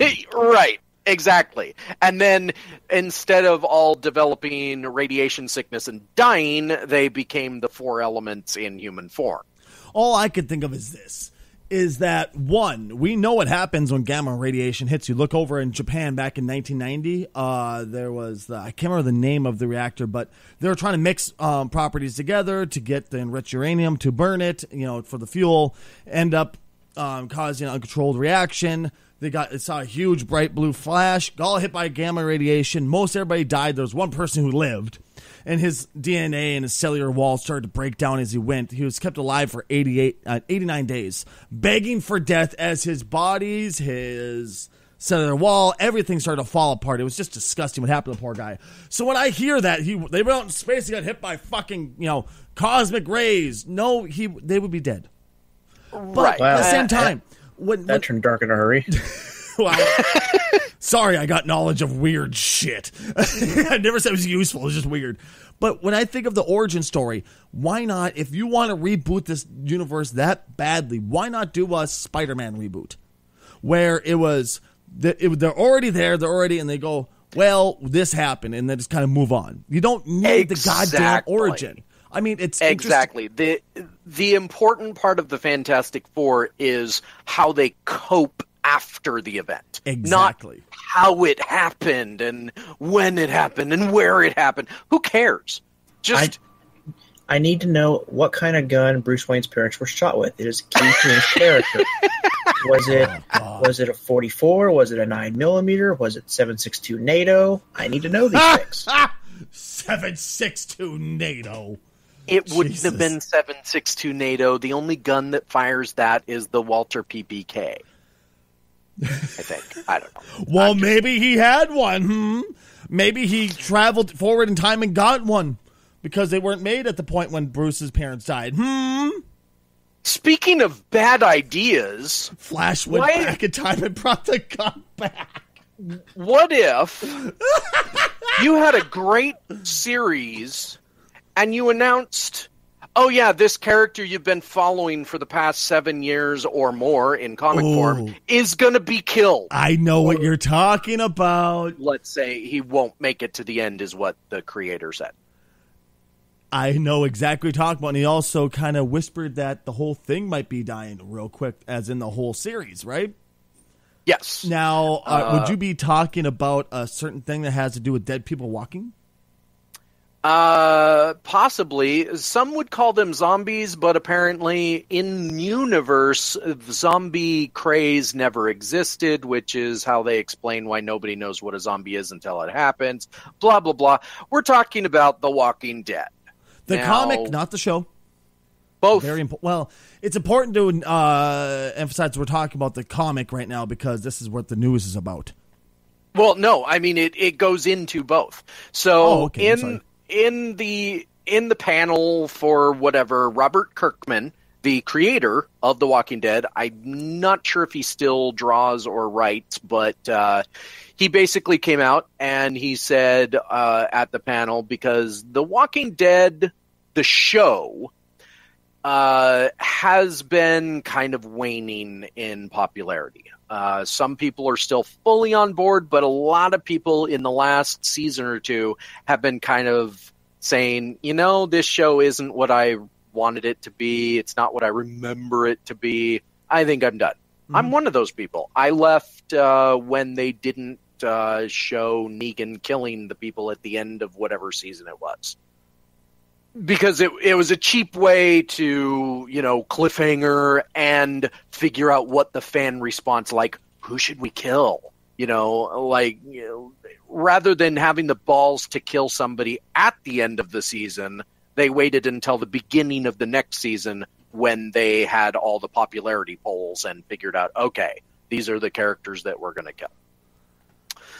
But Negan who's supposed to be a very scary uh, very awful person in the comics and is still very popular in the comics is kind of a joke at this point. Like most of the fans of the show, they they don't even take him seriously, which is a shame because he's a great potential character. To I guess bring back uh like some hype for the show, Robert Kirkman came out and said very specifically Rick Grimes, the main character, is not going to make it to the end of the story. Really? Really? I mean, I fell off of the Walking Dead bandwagon a long time ago. I made it through the first season and I started on the second. I'm like, I'm done with this. It just it became too corny for me. But A, a lot of people left at the farm. really, so I wasn't the only one, huh? No, you were not only. That makes me feel a lot better, actually. so it's not just my hatred for TV. Uh, obviously, all jokes aside, though, I, I'm surprised that they would jump the shark like this because that's truly jumping the shark.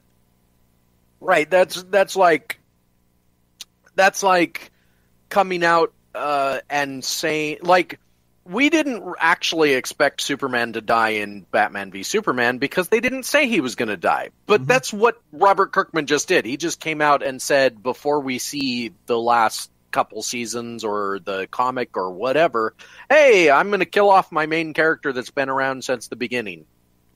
Enjoy continuing watching the show or reading the comic. Like like why would you do that? I you'd imagine he'd do it without saying anything to cause that much more of an uproar. Because I mean, it would cause people to go, "What?" and they'd go back, want to read the rest of them beforehand, because you know, you know that the death of Rick would be a huge uproar in both social media, the forum circuits, everything. People talking at oh, the water cooler would sit there and bitch and scream about how I can't believe Rick died. I loved him so much. Blah blah blah blah. And people would want to go back and go watch the old ones, wa- read the old ones to get caught up. You know, Right. saying it now, I mean- you jump the shark a bit early, I suppose. Yeah, I mean, I mean, honestly, in, in my opinion, if they took away like, the one guy that people are expecting to get through it, it would just make me want to stop watching it. Yeah, Exactly. Like there was a point where where I kept hearing people talk about the show and I haven't read the comic in a while and I was thinking about getting back into it and d- despite the fact that Rick has gone and part of it is Rick has gone through so much that at the end of the day I was wondering if he would make it. Like, man, he's gone like in in the show he's gone through a bunch of stuff. In the comic, it's much worse. He's had his hand cut off. Jesus. Uh, he's he's lost his wife and his unborn child in the comic, which in the show they she actually gave birth. Um, he had his other kids like half his face blown off and and like let's just say he's been through the ringer a few times and yet he keeps going and he's gone through psychoses and he's gone through all of these things and they sort of did that in the show and he's like the main character that you want to find out if he will make it and now we know he's not going to make it. Why should i continue? Like this is the point where if i were still watching i'd be like well i'm done. I don't care anymore that's it's as if you're trying to put the death nail in your series long before it's truly should be there right? like this is this is like when uh, nbc or cbs put star trek the original series on friday nights at 10 that's that's literally putting the nail in the coffin. You you just don't do that. I i don't get it. I don't know man like killing off like the main character is the kind of thing that you do at the end of the story, if at all. Yeah. Now I, I know there's a book that you guys because we're still trying to cover all of the fucking Comic Con news because there's a shit ton going on here. Uh, there's a book that you guys are pretty happy is being turned into a movie. It's called Ready Player One. I, I actually know very little about it. Uh, I've heard about it. Uh, so I know I'm. I feel like I'm kind of stomping all over the podcast today, but I do know a little bit of information, and what I know is that Ready Player One, as a book, is about uh, people in a dystopian future who pay a lot of real money to enter a game world where they can do anything and get basically escape life's terrible nature. So it's World of Warcraft. Well, I was going to say it's basically um, the Matrix, but with a, a subscription fee. Yeah, yeah, it, it is very much Matrixy. Can I have this and, right now? I, w- I would pay for this right, right. now. yeah. Um. So the problem, the problem with the book being turned into a movie is that in the book there's tons of nostalgia. Like they reference Tron, they reference uh, Freddy Krueger, they reference uh, uh, Iron Giant, they reference a bunch of a bunch of like they reference so many things that to turn this into a movie, the licensing rights would be insane.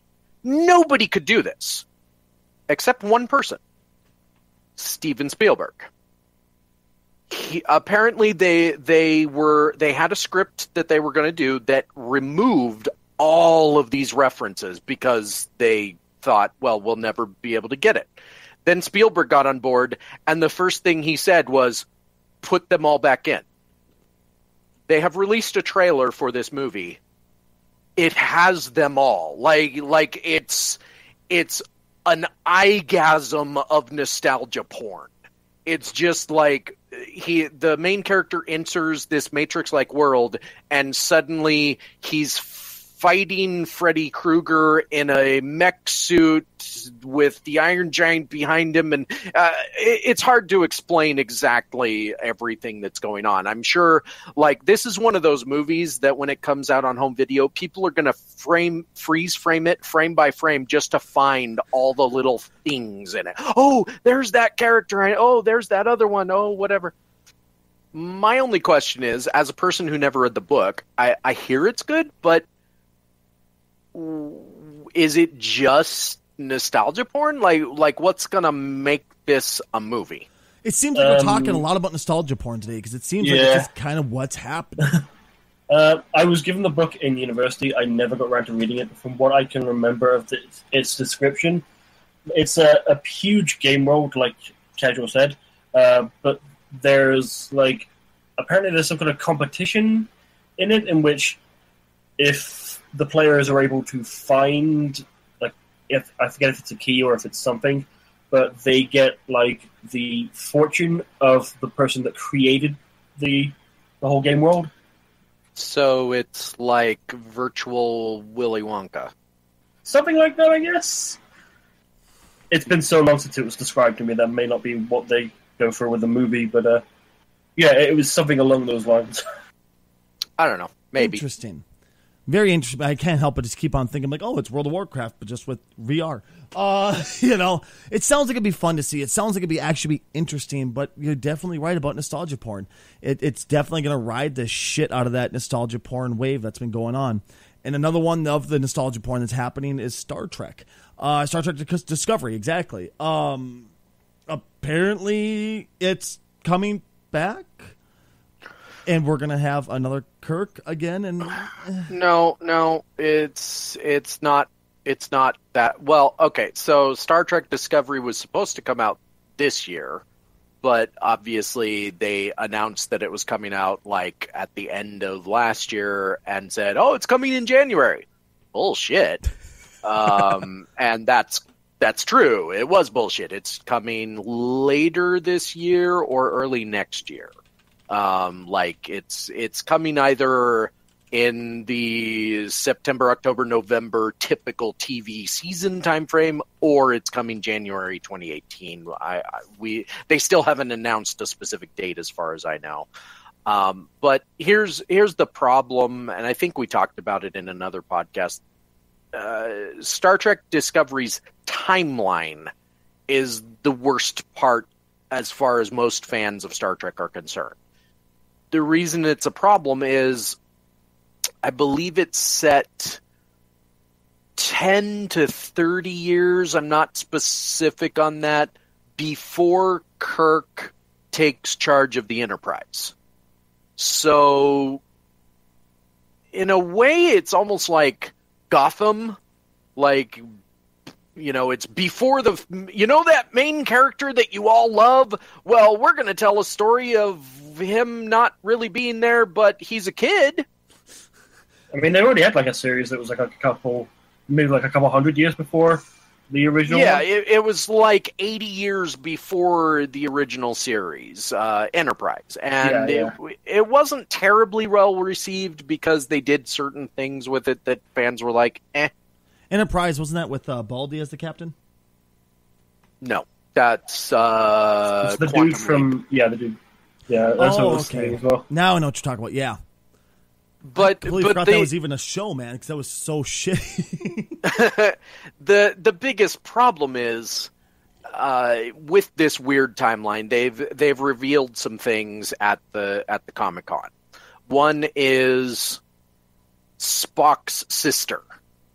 Now, you for people that aren't fans of Star Trek, you okay, whatever. But here's the thing: we already got Spock's half brother in one of the movies, and people did not react well to that because it's one of those characters that they just pulled out of their ass, like, oh, by the way, Spock has a half brother, and he's known about it all this time, but never told anyone because reasons. Also, he never existed until this movie. They're doing the same thing with a Spock's sister. Like, she's going to be related to Spock via his father and they're saying that she's going to be a major part of the story. Why doesn't Spock ever talk about her in all the years that the show's been on? Maybe it's because he's, you know, it's so illogical to talk about your kin that it felt never necessary to talk about. I, I, I could see them wrapping it somehow with, you know, but why? Why they is it needed? say they say they're going to explain it, like why he never talks about her because they kind of have to. But uh, like exactly, like why why even do that? The second problem is it going to be like sorry, is it going to be like uh he goes up to um Kirk and is like, "What? I never told you about my sister? No, I totally told you about her. I told I told you about her, then I had to wipe your mind." Oh God. I could see and, and, either that, yeah. either that, or it's because Kirk's a horn dog. He's like, yeah, I'm not going to tell you about my sister. That's actually a good reason. So the other the other thing that came up was they showed us uh, pictures of the Klingons in this show. Mm-hmm. Now, uh, for those that remember, the original series Klingons basically had gold skin and uh, bushy eyebrows or whatever. I think they're Uh, also they- a bit brown and smelly, right? They they couldn't afford to do anything on the original show because uh, they had no budget. So that's what they did. And whatever. It was fine. Who cares? They're they're the equivalent of communism in the in the show. You know, they're they're the red menace of the show. Then they did the first movie and because they had a budget, they changed the Klingons to have the what most people recognize as the bumpy heads. Mhm. Then J.J. Abrams got involved with the reboot-ish movies, and he changed them to have sort of bumpy heads, but also have like pierced things all in their heads, and and you know uh, slightly different again Because movies. because movies, because J.J. Abrams likes to make little changes like that. Now they sort of have the bumpy heads again, but now they've got like spikes on them. Like it also- looks like they come to points and stuff. Yeah, they al- J.J. Abrams also took away all the hair that they had because they had like really long hair in the shows. Oh yeah, they, he kind of made them all baldies. So my my question is, why do this again? Like why why make it confusing in a universe that is generally they try to have some some sort of continuity? Why why do that? it's it's it's kind of the same thing with um, you know the the superhero movies. How they always have to tweak the costumes between every iteration. Like Captain America has worn like, three different versions of the same outfit. Yes, but at, but it's a costume. We can accept that. But there's nothing wrong with it. Just leave it alone. right, exactly. You know, now if you're like a whole new director or a reboot or something, sure, go nuts. But if you're in like this, like you know, the MCU, for example, just pick a costume, and that's fine. It's not broken. Don't fix it. I'm totally with you on that one. One million percent. For the record, the only true Klingon is Worf. Jesus. Um, speaking of MCU though, I I I got to get back to this, guys. There was a leaked trailer. Now, first off, it seemed pretty uh, scuzzy of someone to do this. I know Rad w- said something earlier during the pre-show, and I couldn't help but agree with him. Uh, Rad, what was your exact opinion on this one?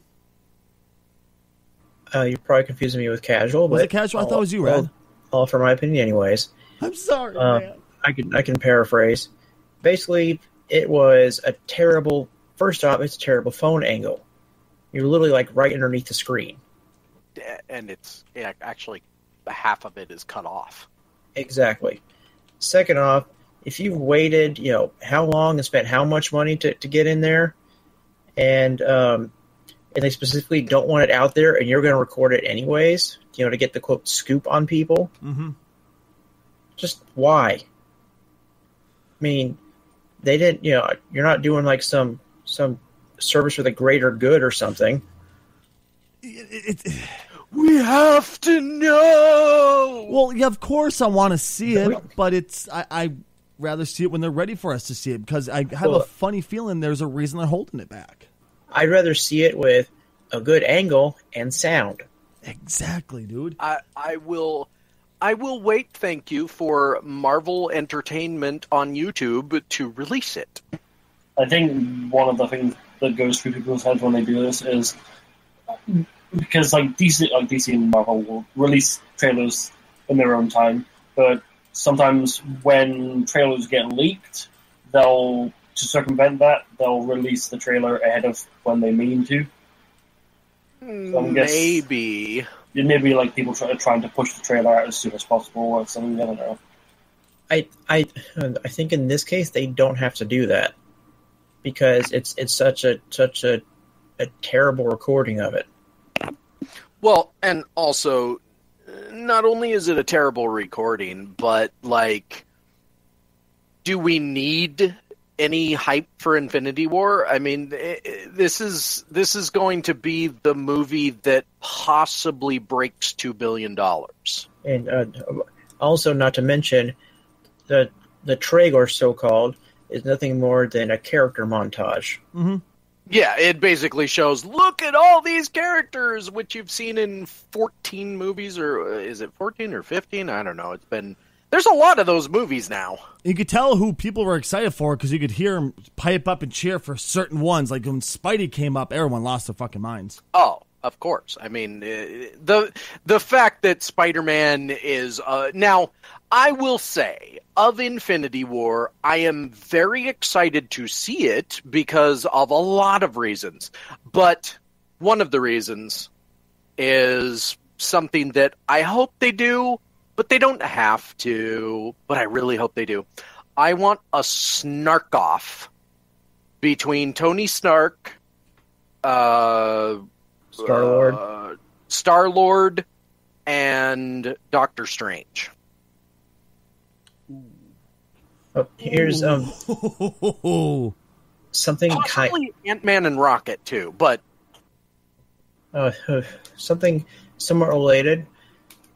So, in our in our preparation for this this particular topic, uh, the trailer was posted about um, about two and a half hours ago. Disney has already taken it down.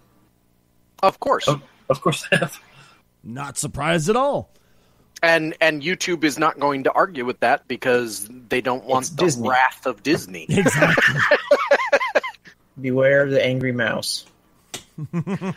now now uh, speaking speaking of uh, Infinity War and things related to it, uh, there's still movies coming out before Infinity War. Like they they're hyping up Infinity War, but we've still got uh, a movie that is back to the nostalgia porn. Uh, seems to be trading on the whole 80s stuff uh, with the way the trailer is designed and the, the font of it and everything. Um, Thor Ragnarok. oh, I'm so fucking amped for this thing. Now, this is Stacy. I hate movies. Krugger saying that. I'm I'm poking fun, of course. Uh, it's okay. You can poke fun at me all you want for this. I'm willing to take the wrath of this one because it looks exciting. but here's the thing like i was already like I, I said it before when we were talking about aquaman and how you know thor is another part of that like how are we excited for this but that first trailer for thor ragnarok i mean i was more than sold so they as they do have released a second trailer. It's up on youtube right now. We'll probably have links or whatever in in the description. Um, they showed a l- maybe a little bit more than I would have liked, uh, eh, you know, but at the same time, if it's possible, I'm even more hyped now. Just because of the interactions between Bruce Banner and Thor. Mm-hmm. That's what sold me. No shit. Um, I'm excited. I, I really kind of feel like they let a little too much out of the bag, but that's what you have to expect Yeah. sometimes. It's just what movie theaters do. Um, of course, it was our own fault for fucking watching, so we can't bitch at them. really, it was. You know, But but I couldn't stop myself. It's just fucking exciting. It really is. I, I'm excited for it. I can't wait. It looks so damn good. Um, can this be out now, please? Please. By the way, I will Please. warn. I will warn. Don't watch that trailer already having an erection. Because that one meme, please, my penis can only get so erect. It really does happen because you go, wow, it's possible to get more erect, and then it starts to hurt. It rips. You know, it, it's bad. It turns into like a fucking, you know, um, and we're way off the rails and going down the cliff. Now, what I what I would love to what I have to bring up though is Thor Ragnarok comes out in November. Justice League comes out in November. who's gonna win? I honestly don't know. And, and here's here's the thing. Like Thor Marvel has a track record, so obviously there's that. Thor Ragnarok has an amazing trailer and it has people excited to see this movie that don't even give a crap about comic book movies. Mm-hmm. But the Justice League is the Justice League. I hate to say this, but I think even if the Justice League is another Suicide Squad, I think it still wins. Hmm, I don't know, man, because the pure star power behind Thor, I mean, the, how good it looks, how it looks like it's going to go. Oh, look, that Thor two, that was crap. Come watch this. This is going to blow it out of the water. And Justice League, it's going to be hype. It's going to be huge. I'm excited for it, but I've always been one of those people, except for Justice League Dark, who went, eh, Justice League was a little too Boy Scout for me. Where Thor looks like it's going to be good, and I, this is me, the Batman DC freak, who goes, I, I think Marvel's going to win. I really think Marvel's going to win this one. I hope they both win, but I know we don't live in that kind of universe. yeah, right.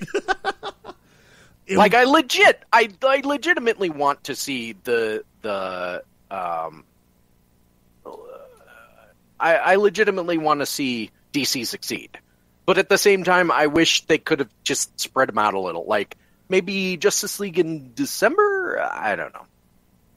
Honestly, yeah, I uh, personally I think Thor is gonna win purely based on I like the look of it more, a little more, bit more than Justice League. But if Justice League does win, then that's I'm perfectly fine with that. Marvel can take one loss. If Justice, well, it won't be a loss. I mean, let's face it; they're both going to make probably you know close to a billion dollars, That's if not Rip more. our wallets. Exactly. But here here's the thing. If Justice League sucks, does this kill DC? Like does all goodwill from Wonder Woman just go right out the window and people say fuck them, I'm done with them. They don't know what the hell they're doing. I want to disagree with you and say that they wouldn't do that, but yeah, I, I, I see this being the fucking put up or shut up point for DC, which sucks because DC's characters are so fucking cool. I love DC characters so much, but if Plus- they fuck this, they're screwed. Let's face it, that trailer is pretty awesome for Justice League, so Mm-hmm. I do want it to succeed. Oh, absolutely. And I, I, I can't help but sit there and watching the Justice League trailer, kind of stop and go, uh, you know, everybody's like, oh, the Kryptonian, the last Kryptonian is not here. This world is destroyed. And it gets towards the end and it shows them looking at somebody off camera. Oh, gee, I wonder who that is. It's fucking Superman. Of course Could it be Superman? Yeah, come on. We know it's Of course. Could it be Martian Manhunter? no. No, it's Superman. It's, it's Superman. Uh, the, the and here's why.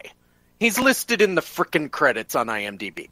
Henry Cavill as Superman, Clark Kent. I, I mean, you you can't. He could still show up in a flashback. Ooh, Uh, yeah, he Rad with the could, comeback. But I no, they don't do that. They bring him back immediately because we want to. th- There's there's a theory going around right now that after Justice League, because they're doing all of their solo movies, what they do is they they don't hard reboot Superman, but now that he's back, he's got some perspective. Zack Snyder's portion of the universe is kind of done.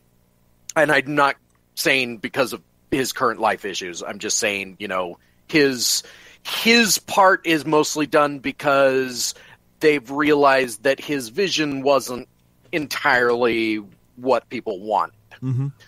They're moving into a new stage where they're kind of handing the reins to more to the creators, more to the directors and stuff. Which, by the way, Marvel started doing right away, and it worked immediately. Um, there's talk that Superman might get a soft reboot in the sense that we do a sequel to all the events that have come before. He's alive now. Now he's hopeful. And his S meaning hope actually, you know, he's he's a brighter character. And I, I I think that's the route you take. Like you you don't hard reboot unless that's what they're doing with Flashpoint. But you just kind of keep the self correction going and give us a little bit brighter world. Is this, is this where it turns out the person at the end of uh, the Justice League trailer was the, the uh, T Rex from Jurassic Park? God damn it. I, uh, I also read a theory that maybe that that could also potentially be Supergirl. Ooh. I mean, maybe, but It- The, the evidence somebody pointed to was earlier on. He's looking at a hologram when you hear the voiceover say "No Kryptonian," and Yeah. people freeze frame that looked at the hologram and said, "Huh, it doesn't seem like this person. This person is wearing boots, but not pants that go all the way down to the boots." Which is a, a Supergirl variation costume. I I think that whatever they do, uh, if this movie is passable, it breaks a billion dollars. Uh, and but It still, doesn't even have to be good, just passable. I love not even good, just passable. We need a movie version of Power Girl with the boob window. With Power Girl? Yes, please. Yeah, with the boob window. Good God almighty. Uh, um, the big thing Justice League should not do is preclude J.K. Simmons from playing J.J. Uh, J.J. Jameson in Spider-Man. Well, we He know has, he has to he has to play that role until the end of time. we we unfortunately know that's not going to happen. Even though I agree. Every time I hear Lord Simmons, I just got I just automatically picture Richard Simmons. and so I get really confused for a second. Let's dance your size. Mm. Uh, sweaty to the oldies, folks. Get me pictures of Spider-Man. And this is what happens when we've been podcasting for a long time. I get, we get loopy. Sound sounds like a uh, perfect, well done transition towards the potential end. Potential end. End of what? The end of the podcast? You don't say. Not, not, not nothing funny. It's, it's the dimension with the dragon. Uh, everybody knows what the end is. Oh God, let's not bring up Minecraft, please. Of all things, not Minecraft. You guys have been fantastic. Thank each and every one of you guys so much for being here. I do want to go on a bit of a a goodbye note of uh, Living Dead. The director George Romero, uh, Romero, excuse me, um, dead at seventy seven. Uh, George, you are a hell of a director, and you really helped cement an entire genre of movies. You created it and you made it, you perfected it, and you kicked ass doing it. George, thank you for being who you are. Am I right, boys? If there's ever a zombie apocalypse, he needs to be the first one. Right, dude? He, he was the reason. Brains. Like, I heard that that in his will, he actually said, uh, "Don't bury me for two days. You need to watch the body just to be sure." No. On, yeah, George, he was an amazing director. Uh, he kicked ass. He made that whole genre of zombies. George, you're amazing. Sleep well, rest well, rip whatever you want to say. You are a fucking god of zombie flicks. Thank you so much for doing what you do. Guys, thank you all so much for tuning in. We have been the Odd Podd. Who have you goofy bastards been? I am Robbie. I am Rad Hazard, and I just spoke to you about podcasting. I am casually challenged with nothing to add to that. Nothing witty. All right, guys, take care of yourselves. I will catch you all, three of you boys, next week, and we'll catch each and every one of you guys next time.